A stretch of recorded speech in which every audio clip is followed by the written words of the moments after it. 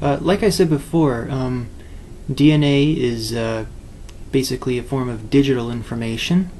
Um, instead of like uh, binary, where it's made up of two characters, basically one and zero, um, DNA is a four character system made up of uh, nucleotides um, uh, represented uh, with the letter A, T, C, and G for the four characters. And um, this has made uh, the biosciences um, more and more into a computer science in the field of bioinformatics, where now that they have a lot of uh, sequencing data from these various uh, genomes from different organisms, um, using the same technique that I uh, referred to earlier, DNA sequencing, and they use the same same technique, um, on, but on a much larger scale for uh, sequencing the billions of nucleotides that that are within a organism's uh, genome, and um, they have sequenced many uh, genomic sequences now, human and chimps and mice and rats and fruit flies and nematodes, um,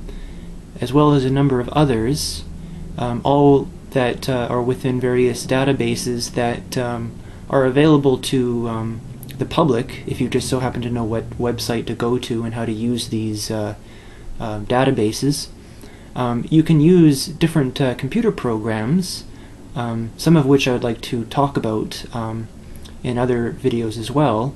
is uh, you can actually compare these genomic sequences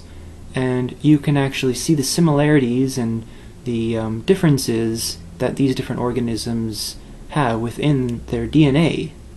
Um, a lot of this uh, uh, this information um, does seem to agree with the evolutionary model of how everything is uh,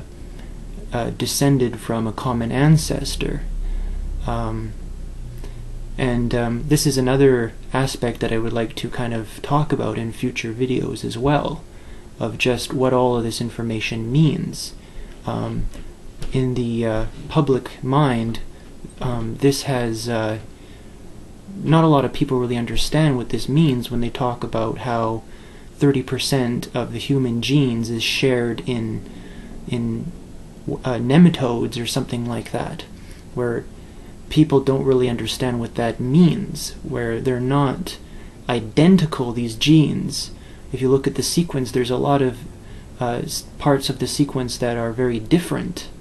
But when you actually look at um, the amino acid sequence, that basically the DNA sequence of a gene, uh, what it codes for is the amino acid sequence. And that amino acid sequence um, the uh, well, basically a, an amino acid, uh, a long chain of amino acids is referred to a as a um, polypeptide or a protein, and this the, this protein folds into a three-dimensional structure, and it's this structure and the function of this protein that are the same, that they share the same function or very very similar function in these different organisms and that's kind of what we refer to as genes that are you know the same in different organisms. And these um, these proteins um, that are similar amongst the, in, that all organisms share um, is what makes the use of model organisms such as nematodes and fruit flies so useful is because we can get some insight into what these genes are doing in our own bodies by studying something that's a lot easier and more ethical to study, um, such as fruit flies and nematodes and different things like that. Um, so a lot of these things I'd like to talk about in, in future videos. Um, so uh, I guess stay tuned for that. Um, also, another thing I'd like to just kind of touch on. Um, basically, the, my main goal for a lot of these videos is just um, is to get people to understand, well, not not just the science, um, but just the other people's arguments as well. Um, I'm in- interested in understanding the other side too, um, and the best way to understand one side or the other is to read up on the other person's sources. Um, so in a lot of my videos, I would like to add a lot of supporting um, information, a lot of other resources that you can go and look up, um, mainly in the form of uh, information from textbooks, uh, textbooks that I've mainly used for my own education. Um, and textbooks are usually a good place to start for you know at least getting to understand the basic concepts of a lot of these things but but also that a lot of these textbooks is just made up of you know it's, it's kind of like a summary of all of the other uh, scientific papers that have looked at various pieces of these of of the puzzle if you will of these different ideas and it's the the textbooks that basically puts it all together so it makes it a lot easier for uh, somebody who's learning for the first time to understand what it means rather than going back and reading all these papers and trying to understand what the techniques that they're using to understand these these various concepts. Um, so not only is it a good place to start to just get the basic concept, but then it, at the end of these chapters in these textbooks, it also has a long list of the actual papers that they get this information from. So when you when you read some of this information in these textbooks, you can actually go back and look up some of these papers. And um, I would also like to show some videos on, on, how you can actually look up some of these papers and take a look at them for yourself. Um, also, I'd like to, for some from others for some other stuff, I'd like to talk about where I can not just show you textbook uh, uh, references, but also references to actual papers themselves um, as well as any other information that um,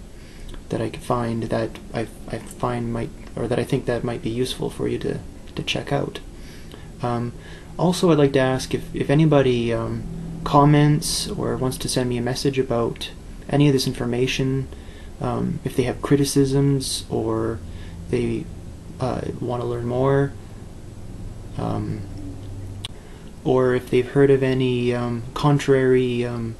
ideas to what I've presented um, and you want to share them with me or, or anyone else, um, I'd also like to ask you to um, uh, post up the um, source of where you're getting your information from. If, if there's a website, put up the link,